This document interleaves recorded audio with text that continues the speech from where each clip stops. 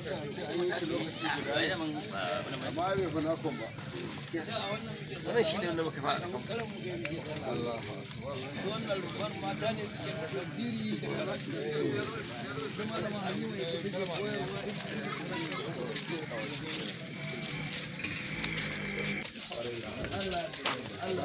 kaga daga nan zuwa nan yana iya zaman to aji ɗaya daga nan zuwa nan ya zama aji ɗaya tun da ciki uku ne za a yi kowanne da ƙofa sa can. Can kuma gudan lema sai a gyara ya zama ofis. Haka in kuma an ɗauka gaba shida da in kuma an ɗauke shi haka aji uku nan gaba ɗaya ɗaya na tsakiya ɗaya wancan ma ɗaya can kuma ofis.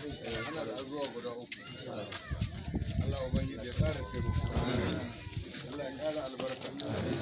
Yanda Allah ya kawo muku wannan masallaci ba tare da kun yi tsammani ba, to Allah ya kawo muku wanda zai gina wannan waje tare da ƙari Allah ubangiji ya kara muku ya kara albarka.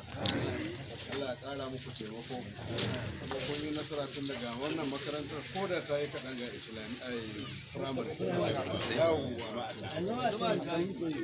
Allah ya kara albarka.